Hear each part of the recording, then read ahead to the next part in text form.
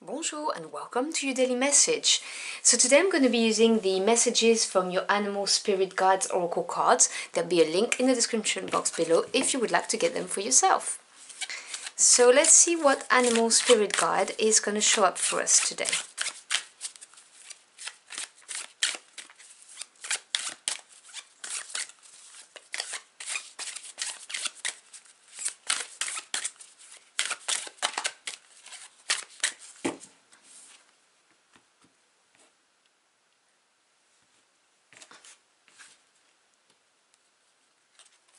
So we have the chimpanzee.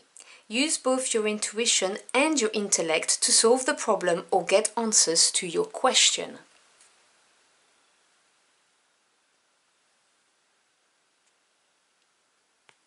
So let me grab the guidebook and zoom in a little bit.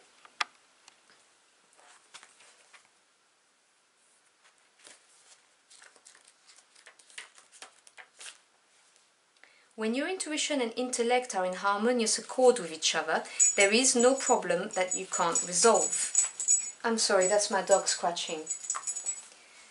The combination emerges as creative intelligence, an elegant blend of your capacity for reasoning coupled with a deep trust in your gut feelings. In the flow of thought and action that results in resolving your question or problem this way, you may surprise yourself as to how simple and effective the answer really is. Your intuition is actually a constellation of physical cues that respond to the subtle body language, voice intonations, and energetic quality of the people or situations around you, often felt in your gut but not confined to that area. It's your instinct communicating, an aspect of your animal nature that's cued in to your survival and growth.